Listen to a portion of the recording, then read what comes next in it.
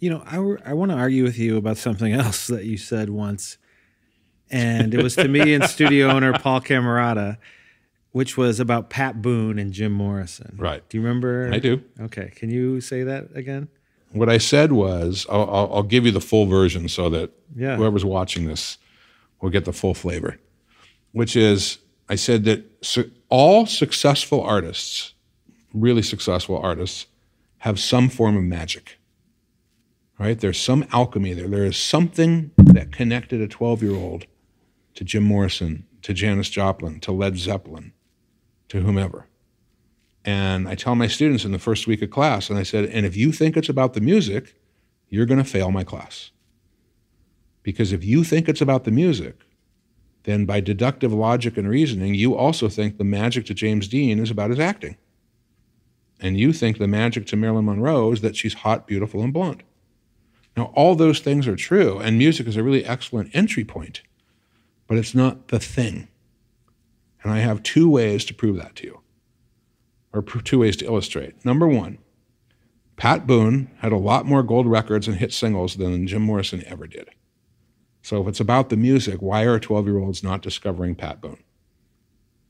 And the second thing that I use to measure that is go to any festival, now that they're happening again, find that 19 year old kid in a Clash t shirt and ask him to name his three favorite songs.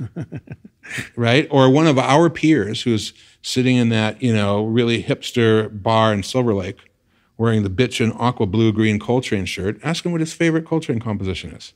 You already know he doesn't know the answer because it's not about the music. The music is the entry point, right? And I used to tell artists when I was doing new artist development, which used to be my thing, I was like, dude, I, I can't manage songs. I, I manage artists. I manage artists. So have a fucking point of view. Stand for something. Tell me what you're about. Right? If I have to tell you, then I'm the artist. Um, but you should have some kind of identity. You know, the word brand is interesting. People overuse it a lot. Oh, I'm branding myself, or oh, I'm going to rebrand. And they, they throw this word around, and it actually has a definition. A brand is a set of identifiers or things that tell you what something is about. Every human being has their own brand, right? Every product has their own brand. Um, like Coca Cola, their brand is they are America. You know, it's classic, tried and true American drink since the 1800s. Red can, same thing, right? Pepsi, choice of a new generation. Pepsi's all about, you know, surfing and skating and BMX, and Coca Cola's about walking through the park with your honey, you know, on, on July 4th. um, they're both really just carbonated brown sugar water, but people buy into that brand, right? Every human being has a brand.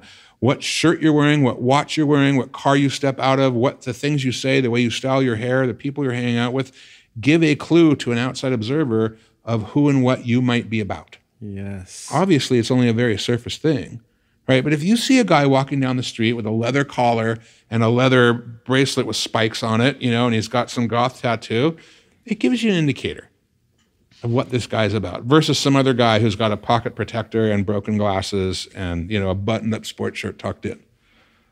Um, and so we all have different identifiers. We all have different facets that, that contribute to our brand that let outsiders kind of know what we're about. It gives them an introduction to us before they meet us or get to know us. That's like Frank Zappa, Frank Zappa said as well. mu- music has become the wallpaper of our lives, and that's why it's no more uh, obvious than with like Radiohead fans too. They need you to know that they listen to Radiohead. You know, would you? Yeah, like vegans. Yeah, exactly. Somebody said, "How you can you tell someone's vegan?" I said, "Don't worry, they'll fucking tell you." in the first five seconds. Yeah, in. things today are more overt. Right? There was actually there's this Freudian model that I follow. I don't want to get too pedantic here. But Freud talked about his theory was that human beings are the only animals that are born without instinct. And as a replacement for instinct, we have the ability to reason and, and our intellect. Not to mention that great opposable thumb. But um, he said we the human being goes through three phases of life right we go through an infantile ego an adolescent ego state and an adult ego state and they're designed to do three different things, right? So the infantile ego state, we come out of the womb and it's completely self centered. It's focused on self and it allows a baby to cry out when he's in danger or hungry or cold to attract the attention of his mother or father to help ensure his survival. So the, in, the um, infantile ego state is all about survival. And around age 11, 12, 13, we naturally morph into an adolescent ego state. And that's the first time that as a human we see beyond the end of our own nose. We come out of this self centered phase and we start to like, kind of like a gopher popping his head up through the dirt, and we start to look around and go, Who am I? Right? It's what S.E. Hinton wrote about when she wrote The Outsiders. It was a bunch of 13 year olds trying to figure out, Am I a Soc? Am I a greaser? Am I a jock? Um, and I and then around age 17, 18, 19, we morph into an adult ego state, which allows us to give and nurture life. So those are the three phases survival, socialization, passing on life. But that socialization phase lasts from age, say, 13 to 18. It corresponds with middle school and high school. And what happens is we come into middle school as a blank slate.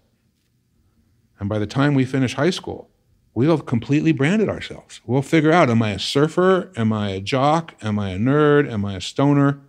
And by the way, we every artistic and aesthetic decision we will make for the rest of our lives is based on that foundation we will establish during those years. Wow, that's amazing. And as a company, that's where I focus a lot of our, our energies and our resources is getting right to those people when they're coming out as a blank canvas. And when they're trying to figure out who they are, here, here's Jim Morrison. Here's Janis Joplin. Here's Bird. Check it out. You might like it. Because if I get them, I got them for life. That's extremely accurate.